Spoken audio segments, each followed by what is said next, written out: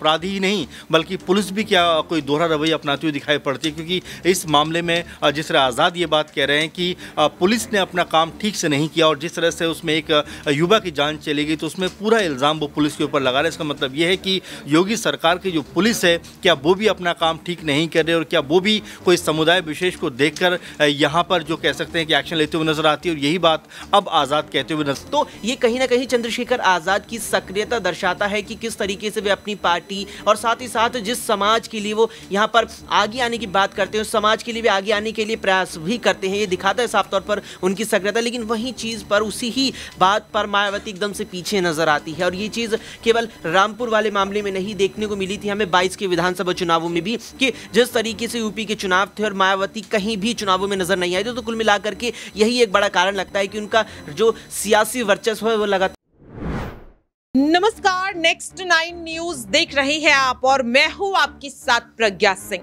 स्वागत है आप सभी का मेरे खास प्रोग्राम सियासी पंचनामा में।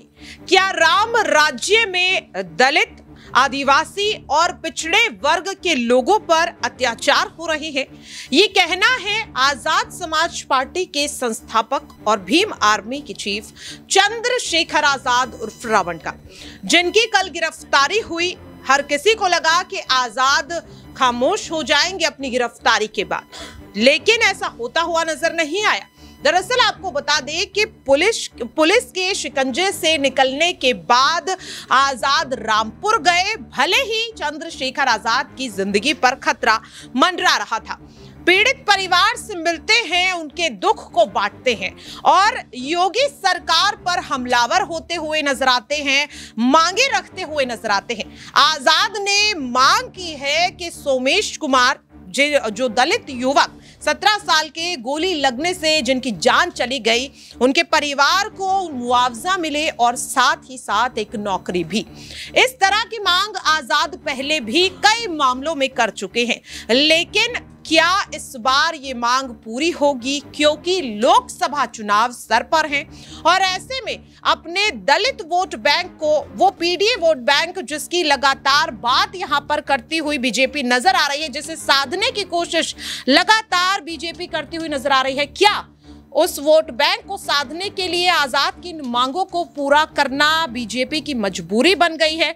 यहाँ पर मेरे साथ अमन जी हैं और सबसे पहले उन्हीं से समझेंगे कि आज़ाद लगातार कह रहे हैं कि अब यूपी में अपराधियों की ज़रूरत नहीं है। पुलिस ही काफ़ी है पिछड़े वर्ग के लोगों पर अत्याचार करने के लिए, उनकी कमर को तोड़ने के लिए। सबसे पहले तो उनके इस बयान में कितनी सच्चाई नज़र आ रही है अमन जी देखिए, बिल्कुल, और जहाँ राज्य के सीएम है, मुख्यमंत्री योगी, वो हमेशा यही बात कहते हैं कि अगर कोई अपराध किया है तो अगले चौराहे पर उसको पकड़ लिया जाए यानी कि इतने चाक चौबंद जो है सुरक्षा के इंतज़ाम है, लेकिन जिस तरह से उसके बावजूद उत्तर प्रदेश के अंदर जो क्राइम रेट है, जिस तरह से हम अपराध का जो ग्राफ है वो बढ़ता हुआ देखते हैं तो ज़ाहिर सी बात है कि सवाल उठने लाजमी सी बात है। आप रामपुर की बात कर रहे हैं, लेकिन तमाम इसके अलावा भी राज्य में देखें कि कई तरह के ऐसे अपराध हैं जो लगातार ना सिर्फ़ बढ़ रहे हैं, बल्कि खौफनाक तरीके से उनको अंजाम भी दिया जा रहा है। लेकिन हमेशा जो सीएम योगी हैं वो यही बात कहते हुए दिखाई पड़ते हैं कि हमारे हमारे प्रदेश की जो जो सुरक्षा व्यवस्था बहुत चाक चौबंद है। हमने पूरी तरह से पुलिस को ये इख्तियार दे रखा है कि जैसे ही कोई कहीं अपराध हो तुरंत उसका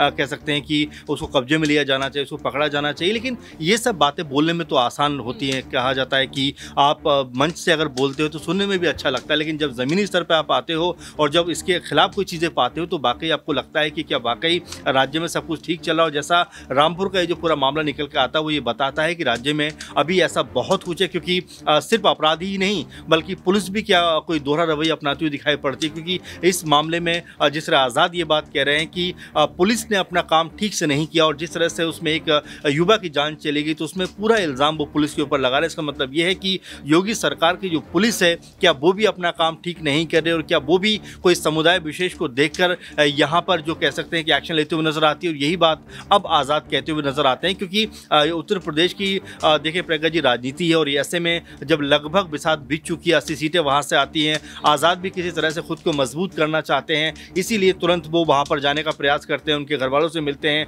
और तमाम सारी मांगे यहाँ पर सरकार से रखते हुए आते हैं कि जो युवा की जान गई है, इसमें उनके परिवार को सरकारी नौकरी मिलनी चाहिए, पचास लाख का ज़िक्र वो कर रहे हैं, उनको मिलना चाहिए, फास्ट ट्रैक कोर्ट में मामला चलना चाहिए, ऐसे तमाम सारी बात मांग है जो वो रखते हुए वहाँ पर नज़र आ रहे हैं। और देखिए हमारी इस मामले में पहले भी बात हुई आज़ाद को लेकर कि आज़ाद जब भी ऐसा कोई बड़ा कह सकते हैं कि हादसा कहीं पर होता है या कोई बहुत संगीन अपराध होता है दलितों के खिलाफ में, वो तुरंत वहाँ पर पहुँच जाते हैं और इसीलिए उनकी जो लोकप्रियता है, वो युवाओं के अंदर ज़्यादा बनती हुई नज़र आती है। मायावती को देखिए, अभी तक मेरे ख्याल से कोई बयान तो निकल कर सामने आया नहीं है। तो ये कई तरह की चीज़ें जो आज़ाद बुनाना जानते हैं, इसीलिए ऐसे मामलों पर वो बढ़ चढ़ कर पहुँचते हैं और इसीलिए लगातार उनकी जो लोकप्रियता है, वो युवाओं में काफ़ी बढ़ रही है। वाकई में। देखिए, यहाँ पर अमन जी ने एक बात कही कि बीएसपी सुप्रीमो, मायावती इस तरह के मामलों पर क्यों कुछ बोलती हुई नज़र नहीं आती?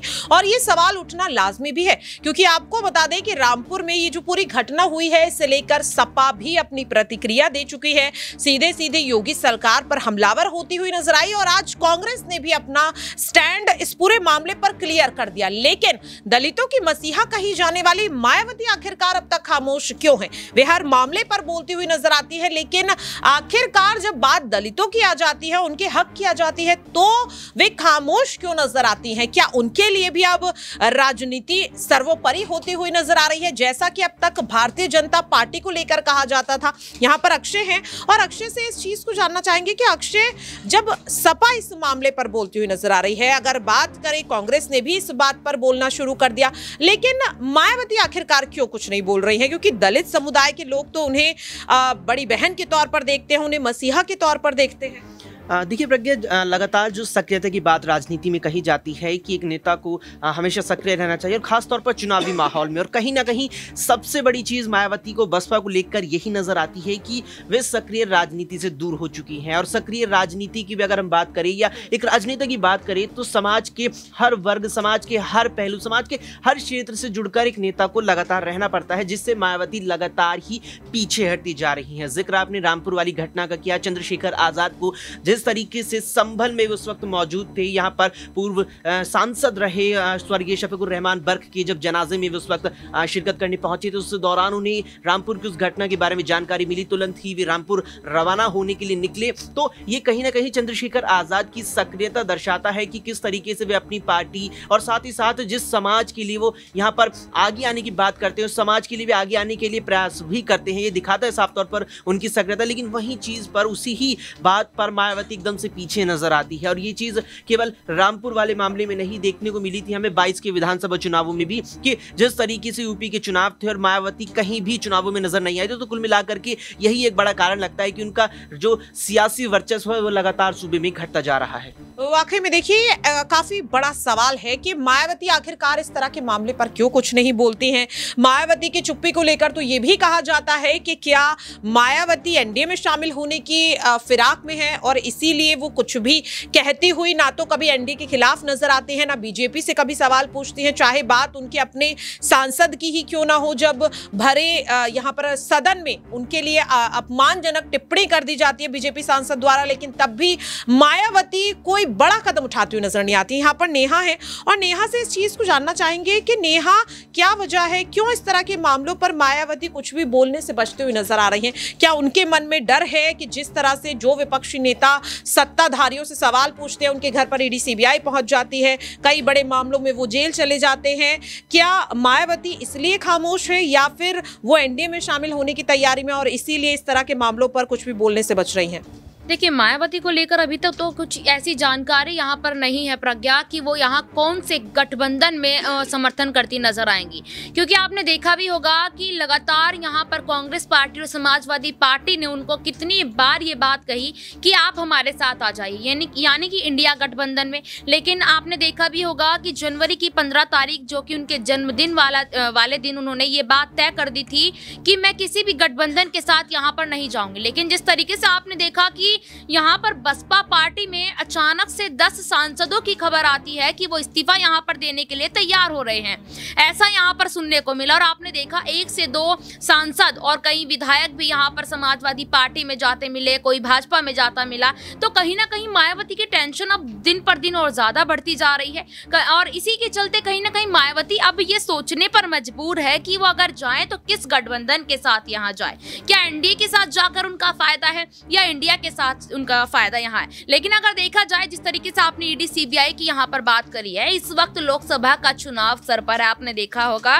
तैयारियाँ चल रही हैं यहाँ पर तमाम राजनीति दलों की, और जितने भी राजनीति दल हैं, आपने देखा होगा, उनके नेता, मंत्री, विधायक तो इधर से उधर दल बदलते नज़र आ रहे ये सिर्फ़ मात्र एक ईडी, सीबीआई का डर है, जिस डर की वजह से वो इधर से उधर भागते नज़र आ रहे आप देखिए यहाँ पर, कर्नाटक देख लीजिए, हिमाचल प्रदेश देख लीजिए, उत्तर प्रदेश की मैं बात करूँ, यहाँ पर तमाम विधायक यहाँ पर भाजपा में ही क्यों जा रहे हैं? क्या भारतीय जनता पार्टी उनको इतनी ज़्यादा तवज्जो दे रही है कि तमाम पार्टियों को छोड़कर वो भारतीय जनता पार्टी की तरफ़ रुख कर रहे हैं? ये कुछ नहीं है, सिर्फ़ ईडी सीबीआई का डर है। आपने देखा भी होगा, दिल्ली के मुख्यमंत्री अरविंद केजरीवाल के पास आठवां समन पहुँच चुका है। राजस्थान के पूर्व मुख्यमंत्री के बेटे भी ईडी सीबीआई के चपेट में है। दूसरी तरफ़ छत्तीसगढ़ की बात करूँ तो वहाँ भी मुख्यमंत्री, पूर्व मुख्यमंत्री की अगर मैं बात करूँ, भूपेश बघेल। वो भी यहाँ पर ईडी सीबीआई की चपेट में है। तो तमाम राज्य इस वक्त जहाँ सत्ता, यानी कि जहाँ भारतीय जनता पार्टी की सरकार नहीं है, वहाँ ईडी सीबीआई की एंट्री अब आम बात हो चुकी है। वाकई में देखिए, जिस तरीके से नेहा ने साफ़ तौर पर कहा कि हो सकता है कि मायावती की खामोशी के पीछे की वजह ईडी सीबीआई का डर भी हो सकता है, लेकिन राजनीतिक गलियारों में तो लगातार कयास लगने शुरू हो चुके हैं। अब ऐसे में देखना काफ़ी अहम रहेगा कि चंद्रशेखर आज़ाद ने जिस तरह इस पूरे मामले को उठाने की कोशिश की है। अब कहीं ना कहीं योगी सरकार सवालों के घेरे में एक बार फिर से आती हुई नज़र आ रही है। अब आखिरकार इस पूरे मामले को लेकर क्या कुछ बड़ा बड़ा कदम यहाँ पर उठाते हुए मुख्यमंत्री योगी आदित्यनाथ नज़र आएँगे? क्या वो तमाम मांगे यहाँ पर पूरी की जाएँगी? राज्य की सरकार द्वारा जो मांगे, चंद्रशेखर आज़ाद ने रामपुर में पीड़ित परिवार के लिए पहुँच कर की थी। देखना काफ़ी अहम रहेगा। फ़िलहाल के लिए मेरे खास प्रोग्राम सियासी पंचनामा में इतना ही। बाकी की अपडेट्स के लिए आप देखते रहिए नेक्स्ट नाइन न्यूज़